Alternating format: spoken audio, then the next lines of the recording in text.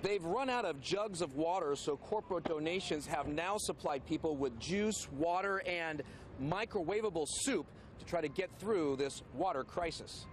You're all set.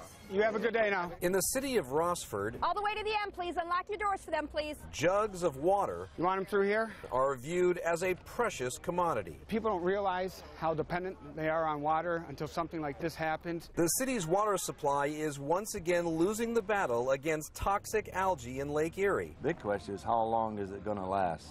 And the other big question is what are they going to do about the algae? This is not something new. This has been going on for a long, long time. To give you an idea of the need for water at this water station alone, yesterday they gave out 46,000 gallons of water in just five hours. It's been wonderful for us.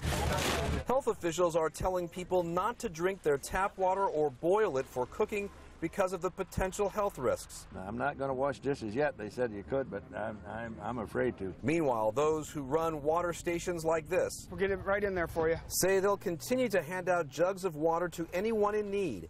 And what they're finding, they say, is that the need is coming from farther and farther away. The need is there. We're not going to turn people away. You know, they're our, they're our neighbors, so we got to take care of each other. When reliable water is restored to this area, it's not over for these homeowners. They'll still need to flush their pipes at home before they can drink the water. Reporting near Toledo, Kevin Landers, 10 TV News.